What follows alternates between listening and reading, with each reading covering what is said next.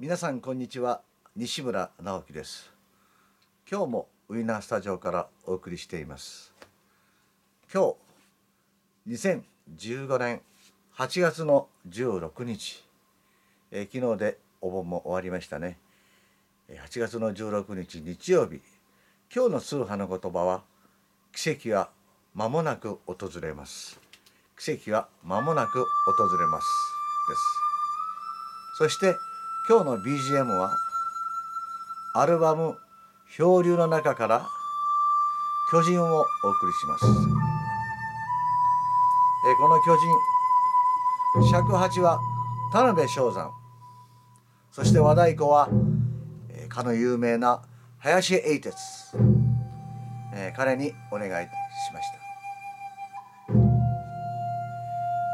えー、林英哲さんに言わせのことに言わせ言ってもらうととても透明感のある素晴らしい人間性を持った方でしたね。そして太鼓はもちろん素晴らしい演奏でした。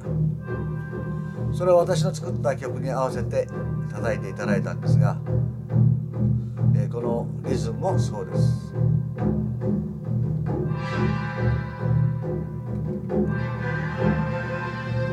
録音の時には本当に素晴らしい音楽性そして技術を持った人だなそれを感じました。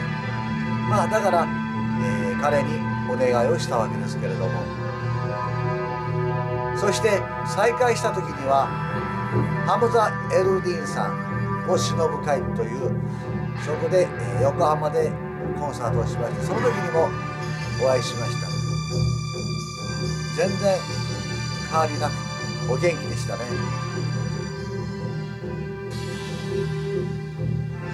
やはり日本人にとって伝統楽器この和太鼓というものはとても素晴らしいものです。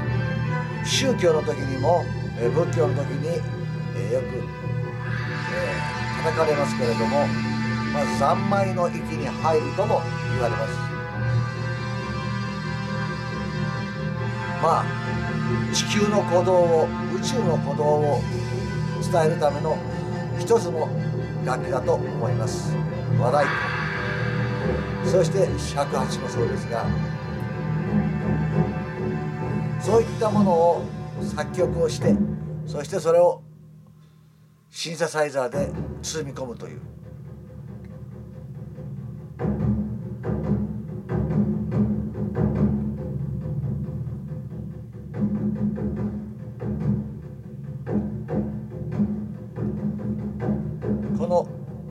太鼓の音を収録する時のこのミキサーの技術これもとても素晴らしい及川さんという方でしたが素晴らしかったです。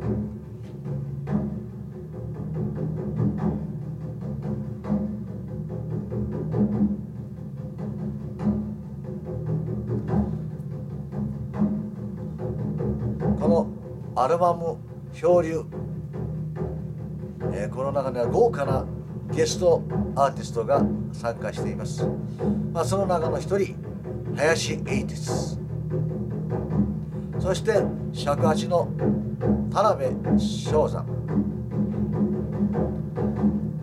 えー、皆さんも一度この漂流に触れてみてください。今でも、えー、テレビの BGM などによく使われております。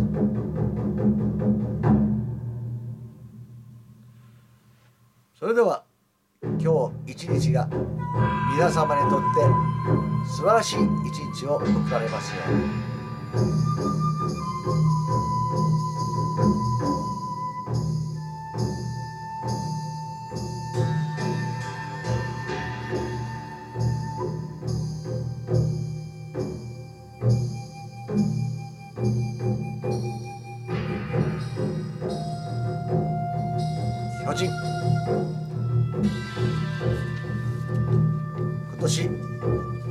12月の日本では8日ハワイでは12月の7日ですが